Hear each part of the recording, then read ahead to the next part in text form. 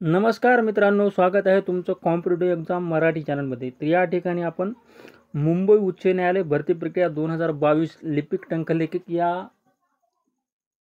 पदाच्या typing cut off आणि पुढील प्रोसेस यासाठी या ठिकाणी आपण डिस्कस करणार आहोत. तर सर्वप्रथम तुम्हाला सर्वांना गुढीपाडव्याच्या हार्दिक हार्दिक शुभेच्छा. तर बघा मुंबई उच्च न्यायालय दोन हजार मुंबई उच्च न्यायालय भरती प्रक्रिया दोन हजार बावीस लिपिक टंकलेखक या पदासाठी जाहिरात डिसेंबर दोन हजार एकवीसमध्ये आली होती आणि ही पूर्ण प्रतिक्रिया दोन हजार बावीसमध्ये या ठिकाणी सुरू झाली होती. तर बघा लेखी परीक्षेनंतर तुमची टायपिंग एकोणीस तारखेला झालेली आहे. तर टायपिंगचा कट ऑफ किती लागेल तर यावर्षी टायपिंगचा कट ऑफ थोडा जास्त लागेल. मागच्या वर्षी हा कट ऑफ पाच मार्क असा लागला होता पण यावर्षी थोडा जास्त लागेल. त्याच्यामागं कारणे असे आहेत. की मागच्या वेळी कोणालाच माहिती नव्हतं की बॅकस्पेस बंद असेल. पण यावर्षी सर्व विद्यार्थ्यांना माहिती होतं की बॅकस्पेस बंद असेल. आणि मागच्या वर्षीपेक्षा पॅरेग्राफ देखील थोडासा सोपा होता. आणि त्यानंतर बघा की मागच्या वर्षीपेक्षा या वर्षी विद्यार्थ्यांनी थोडं टायपिंगचे प्रॅक्टिस वगैरे सुरुवातीपासून केलेलं आहे. आधीपासून केलेलं आहे. म्हणजे या ठिकाणी सराव भरपूर लोकांचा झालेला आहे. कारण या ठिकाणी यावेळी गायडन्स करायला खूप लोक होते किंवा बरेचसे विद्यार्थी स्वतःहून मोटिवेट होते. त्याच्यामुळं यावर्षी टायपिंगचा कट ऑफ माझ्या मते आठ प्लस लागेल. आता टायपिंगचा कट ऑफ जर आठ लागला उदाहरणार्थ तर ज्या ज्या विद्यार्थ्यांना आठ मार्क पडले ते सर्वच विद्यार्थी इंटरव्ह्यूसाठी क्वालिफाय होतील याची देखील खात्रता नाही. उद खात्री नाही. उदाहरणार्थ समजा एखाद्या विद्यार्थ्याला कट ऑफवर मार्क असतील. म्हणजे लेखीला सत्तेचाळीस किंवा सेहेचाळीस असे सत्तेचाळीस मार्क असतील. समजा बॉन्डर कट ऑफवर तर त्या विद्यार्थ्याला आठ मार्क पडले उदाहरणार्थ टायपिंगला तर तो विद्यार्थी या ठिकाणी इंटरव्ह्यूसाठी पात्र होईलच असं सांगता येत नाही. कारण तुमच्या लेखी आणि टायपिंग या दोन्हीचे मार्क धरून किमान एकाच दोन. म्हणजे या ठिकाणी एकाच दोन. म्हणजे एका जागेसाठी दोन उमेदवार इंटरव्ह्यूला पात्र होण्याची शक्यता आहे.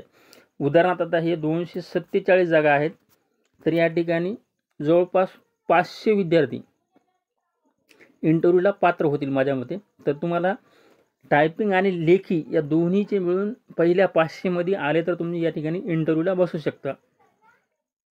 तर बघा पहिला या ठिकाणी पॉईंट डिस्कस झालेला आहे की टायपिंगचा कट ऑफ किती लागेल? तर यावर्षी माझ्या मते आठ प्लस लागेल. कारण बऱ्याचशा विद्यार्थ्यांनी चुका देखील या ठिकाणी शिफ्ट आणि ॲरोच्या सहाय्याने दुरुस्त केल्या आहेत.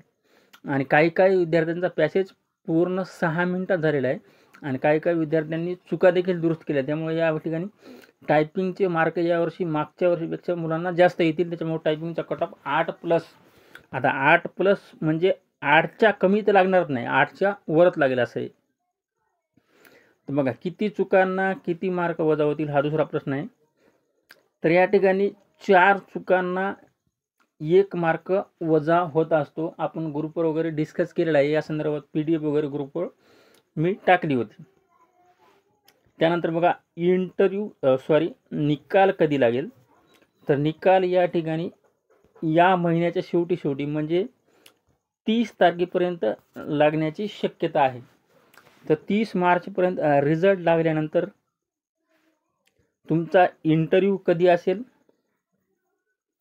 तुमचा इंटरव्ह्यू या ठिकाणी दहा एप्रिल ते पंधरा एप्रिलच्या दरम्यान शंभर टक्के होईल किंवा त्याचं शेड्यूल येईल. त्याच्यामुळं तुम्ही तयारी करा. तर इंटरव्ह्यू संदर्भात काही महत्त्वाचे मुद्दे डिस्कस करूया आपण. तर इंटरव्ह्यूमध्ये तुम्हाला काय काय विचारू शकतात बघा. इंटरव्ह्यूमध्ये तुमचं एज्युकेशन पाहिलं जाईल अगोदर.